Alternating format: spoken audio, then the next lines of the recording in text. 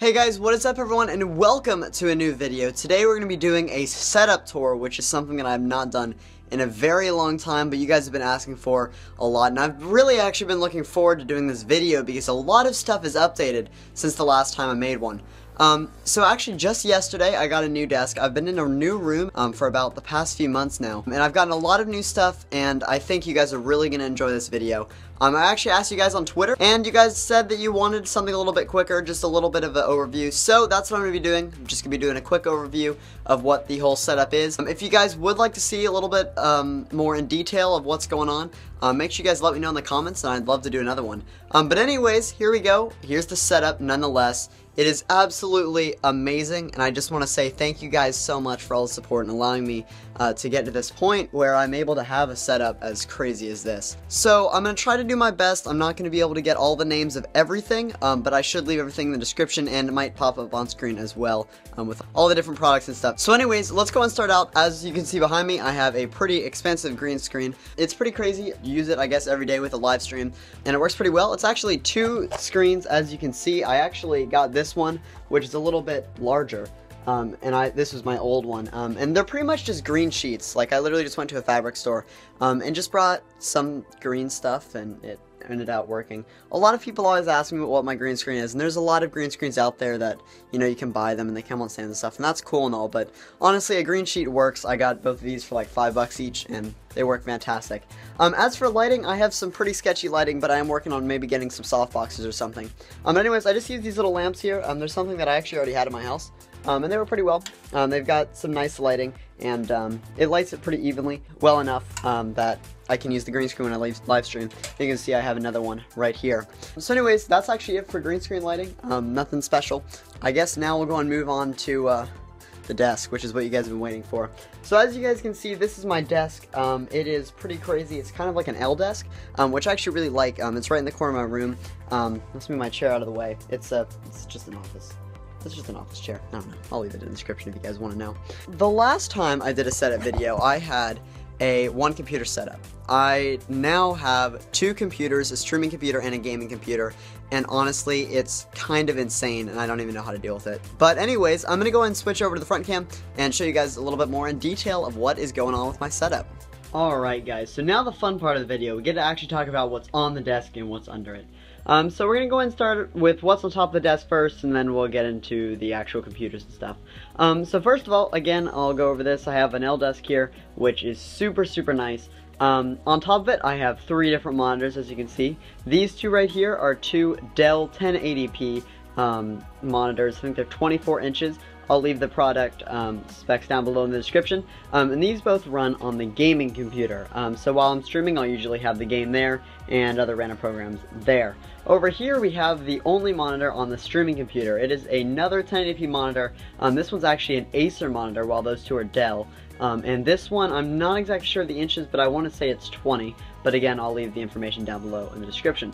Um, so there are my monitors. In the background here, you can see that I have some acoustic foam, some red and black acoustic foam. I really like it. It doesn't actually fill the whole wall up yet, um, but I'm going to be ordering um, a few more panels to help fill it up. And um, it really does make a noticeable difference in this room. It, it's a pretty echoey room, and um, although I just got a few here, it's already helped out a lot. And I think covering this entire wall will um, pretty much fix the problem that I've been having. So as you can see on top of this monitor here, I do have a webcam that is the Logitech C920. Um, it is the uh, webcam that most broadcasters use. It's probably one of the best USB webcams out on the market. Um, and I've used it for a really long time and I really, really enjoy it. Um, I also have another, another webcam over here, as you may or may not be able to see. That is the Microsoft Life cam or something like that. That used to be my old webcam, but I now use it as kind of a, a backup camera in case something happens or if I want to use it um, to record a video or something, or maybe just have a camera facing my setup for live streams because it just looks kind of cool. But yeah, between those things, I have some pretty good video capturing um, devices, and then there's of course my iPhone, which I'm using now.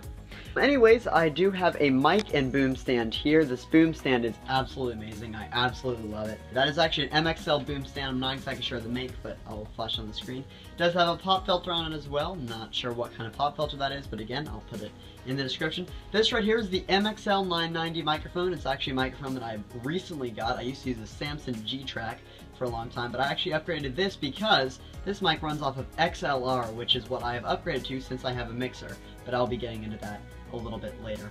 Um, anyways, the MXL 990 is an amazing mic. I really, really do like it a lot, um, and I don't intend to change for a little while.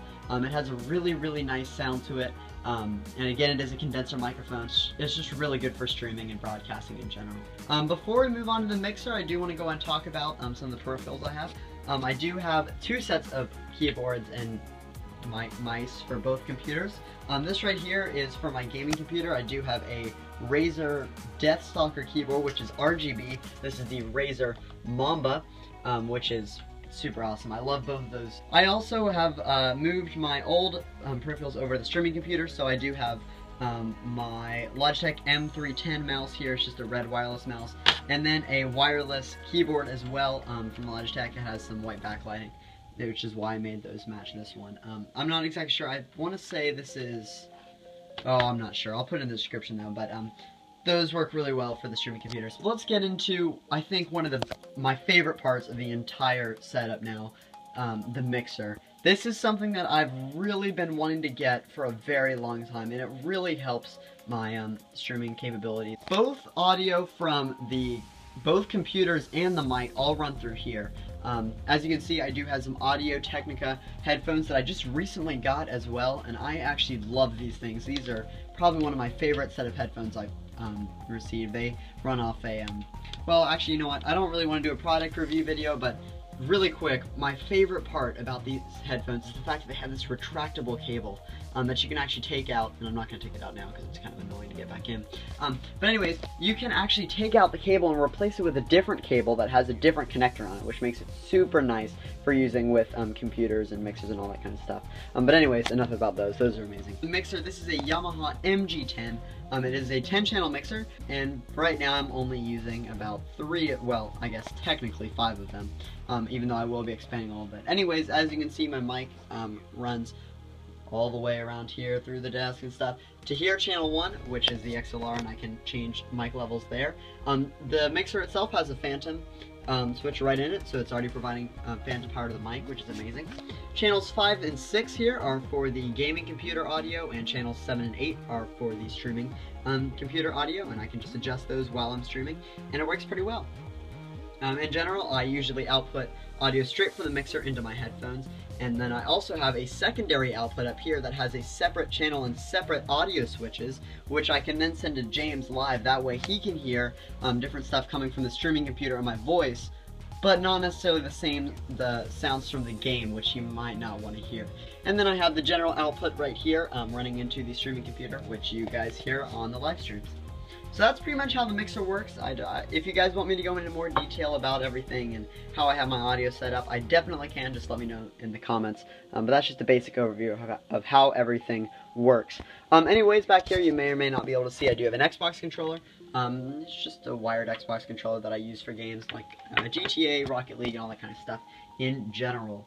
Um, so that's pretty much most of my setup. Over here I have a few um, other accessories on my desk that I don't really use that much, but they're still part of my setup, and um, I think they're worth mentioning. Um, so anyways, I have a Launchpad Mini right here, which is not in use now, but I can use it for a soundboard, or maybe a MIDI controller to change scenes um, just by the press of a button with XSplit and stuff. Um, but I do have some plans for that, and I'll be using it at some point. I just don't have the time to set it up now.